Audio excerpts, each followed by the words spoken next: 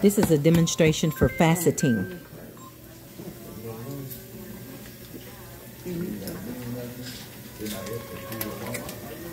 Okay.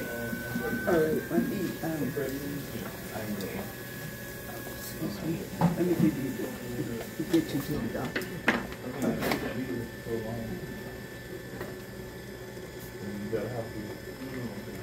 Oh. Every time, every time I see you in, Chris, you know that I Sponges in there. Okay. It's, um, no, I didn't care. I didn't know what they're wrong on Saturday. But come on, me, every time I go, every time I go,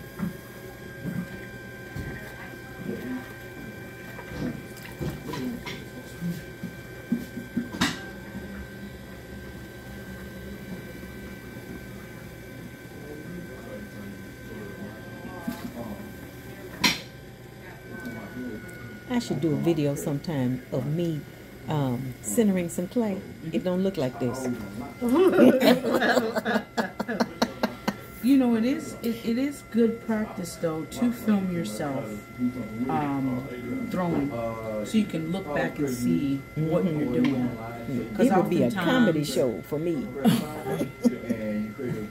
Because like you're talking about, you get the thick and the thin. Uh-huh. You filming yourself doing a pull, yeah. and then I could see it. You see what you're doing. But you Yeah. know something? I think that just practice, practice, practice. You know, when you talk about like how many times you've thrown when you were in class and you did hundreds and stuff like that, we're only here for a couple of hours. Yes. And we don't. But I learn each time I see you or someone else do. Like um, Gail mentioned. Remember, she kept telling us over and over, "Don't make the mushroom, don't make the mushroom." And I was watching as Miranda was throwing. When she got close to a mushroom, she pushed her hand in mm-hmm. to make it go it back go to back. a hockey puck.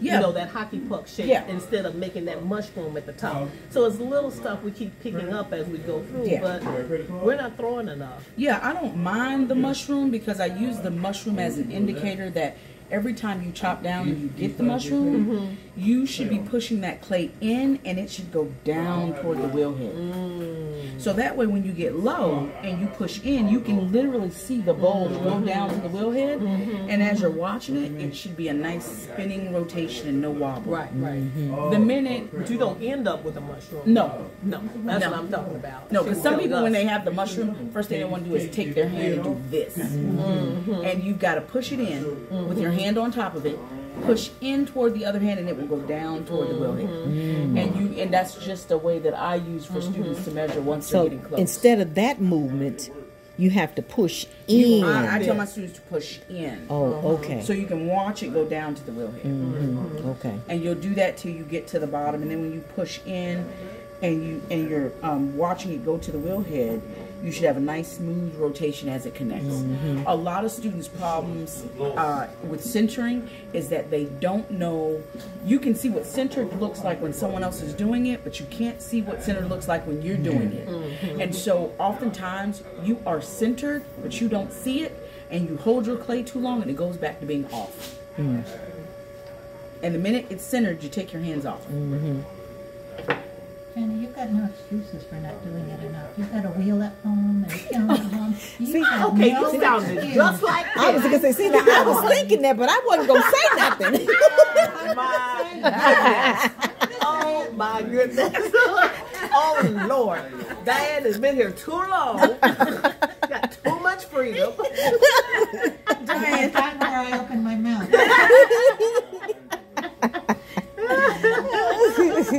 She said, come up with another yeah, one. Diane's like, I'm not buying it, not from you. She said, come up with another one. yeah, but you know, you need some off days. So, um, I'm gonna do, I'm gonna do a bowl, Miss Diane, okay? Okay. And so you center like everything else, and But it- well, the op- opening has to be after it's faceted and you do it from the inside, right? And it's harder to, is it harder to do a cylinder or a base shape? Or not really? Not really, because you can. So you can you can. There's two ways typically that people will facet. Okay. You can keep it as a hollow, you know, as a solid form and then cut away mm-hmm. and then go in and open. What I'm going to do is I'm going to open a little so I have the thickness to cut away and then I'll go in and I will then push that out. Okay. Okay? Uh, but yes, you can you can do it solid. And because clay has a memory, I'm gonna go ahead and give myself my bowl on the inside. Okay? Mm-hmm. And so you can see it's not taking up a lot of space.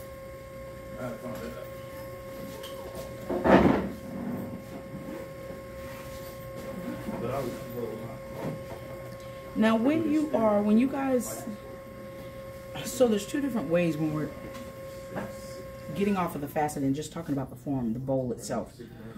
When you're like this on the inside, you encourage the clay to go up. When you're like this on the inside, you encourage the clay to go out. Okay?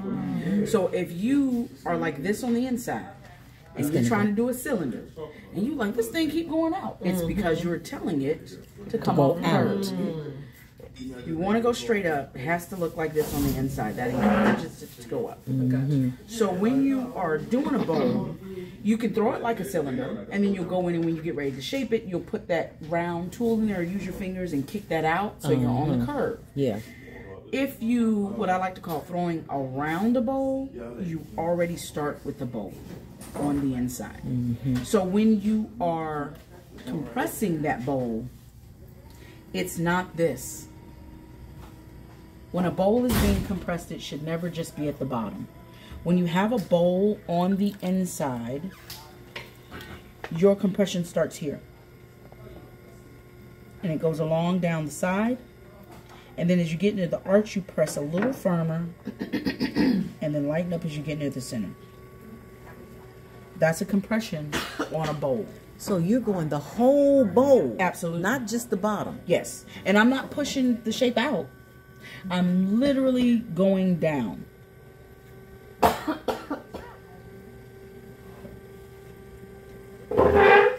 All the way to the side. And I pick up and I do it again. That's a compression on a bowl.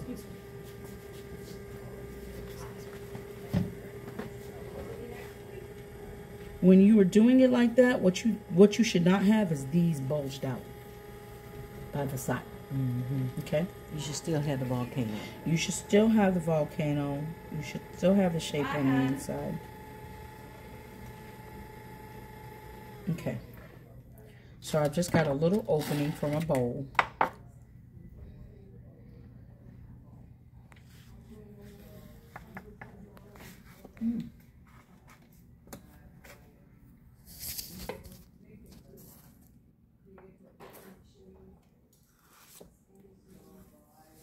You're gonna be messy for wherever you're going. Well, that's okay. I could deal with the top because you know you could spot, but it's the pants always get me. Oh.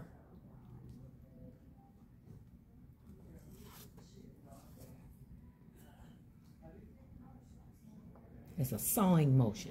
That gives you that different, Yes, mm-hmm. texture that you could build up on. I'll turn it again until I get back. Turn it.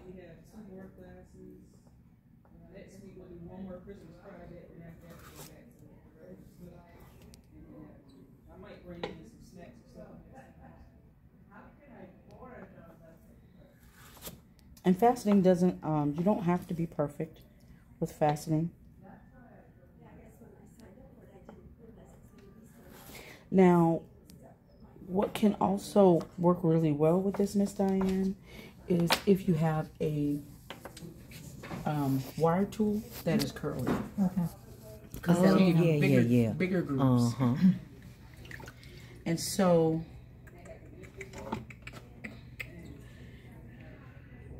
I usually will take away just that little bit of excess.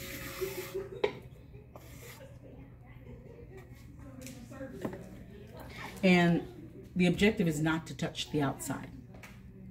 Okay, so I'm not going here, and it's the hand that's doing everything.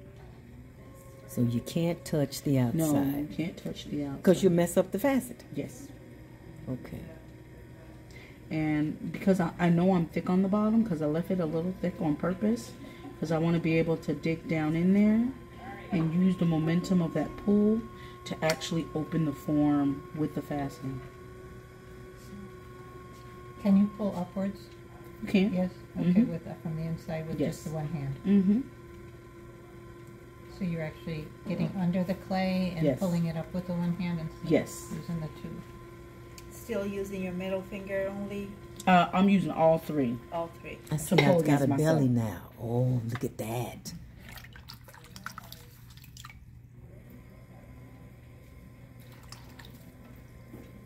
I'm going to go in again because I know I have enough clay that I can do so.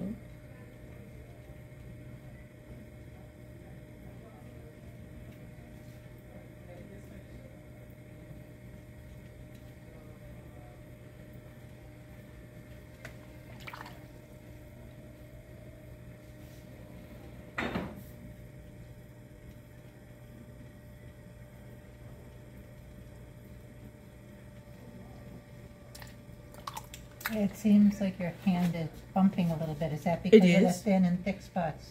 Excuse me. Yes.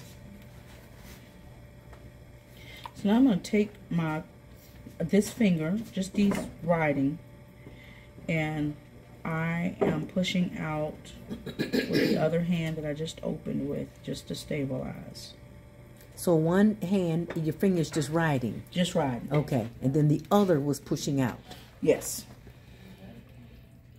Just my fingertips on top. I want to soften that edge.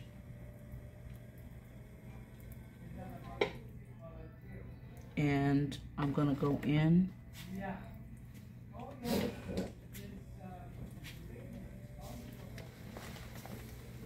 Because I want that, I need the smooth transition on the inside. So I use the softer rib.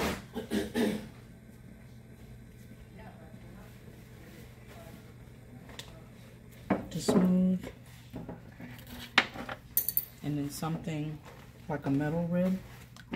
I'll come behind. So at this point, no work gets done on the outside. No. Once, even if this was a closed form, and she goes in and she takes away all she wants, she literally is going in with her hand nice and slow to open the form, and mm-hmm. then tilting her wrist to get it to open up and come up. Mm. But it's never a case of you touching your outside. Mm-hmm. Now, some people will do faceting and they'll work they'll work wet, which means they will have um, either a cheese cutter that they're working with, or a curly, like to really really get it textured on the outside. Mm-hmm. A curly wire. Mm-hmm. To really, really get that texture going. Um, and so then when they um, go in, they'll have like a, a chamois, but it'll be soaking wet. And they will brace it on the outside as they open. Some people do that because they are, they want the texture and they want the faceting, but they also want the height. And oftentimes, you know, somebody, you, I never really see anybody. I mean, I've seen people do faceting on really tall pieces, and they look Right. okay, but the smaller ones are so much more dynamic because it's so compact. Everything that you've given it is in that smaller um, space, and you just know that that taller piece is going to have a certain amount of thickness to it. Do you ever change the wheel direction when you're working like that inside? I've, I've started doing that and I, I feel I have more control inside if I change that wheel direction. No. I don't. Only because, so these wheels are for left hands and for right hands. And in the East, they throw, we throw counter clockwise. They throw clockwise. So we throw right hand, they throw left hand, and no one ever alterates, al- alternates between the two. Um, but I mean, if it's working for you, it's working for you, right? But then say you say to yourself, "I want a wheel at home." That Gotta have the, that duality is gonna cost you about five hundred more dollars, right? thanks for the warning. it's gonna cost you about five hundred more dollars. So it's not something you should get used to. You need to figure out while you're throwing what is it about an ease of that. And if it, it feels easier to you, then you need to try to throw left-handed. There are right-handed people who throw left-handed, and see if that doesn't fix it for you. Um, but yeah, people will typically You know what? I thought all wheels could go one way or the other. I thought you just No. flip a switch and it just goes no, the other baby, way. that's an added. That's an Oh. addition for it. To, it's know. called a. It's just a dual wheel that means Yeah. Mm-hmm. it can go left or right. Um, but like, uh, yeah, like if you were to get a Brent CXC, um, it's gonna it's it's going to come right-handed. Right. That's just the given. Yeah. Unless you request it to be a left-handed motion wheel, Mm-hmm. or unless you request to have the duality. But in the East, theirs is just automatically left. yeah. And so when you go there, it's it's you just have to learn How to do it with your left hand. and think about it. Like before you had the motor and all of that, um, we would kick, right? And that's how I learned how to throw. I had to learn on a kick wheel. We didn't have That is hard. motorized wheels and learn production on a kick wheel. Mm. So you were sitting there spinning, spinning, spinning, and, and the sculpture teacher would come over and be like, oh, "Okay, you need to do 50 more in this amount of time." You're like, "You are and your whole body is wobbling. But in, in the East, they are oftentimes either sitting Indian style or on their knees, and they have a stick Oh, okay. to spin their wheel, and they throw. oh my goodness. Traditionally, mm-hmm. tha- that's mm-hmm. how That's it was done. Sure is. So now you got your facets, and I'm gonna go in and cut away some of that bottom because I don't need all of it. And this is just one way. You have people who facet solid and then open up and throw. And uh, do you have a, a chamois? Mm-hmm. Oh yeah, perfect. And the chamois always comes in handle, in, in, in clutch rather, so that you can round that top.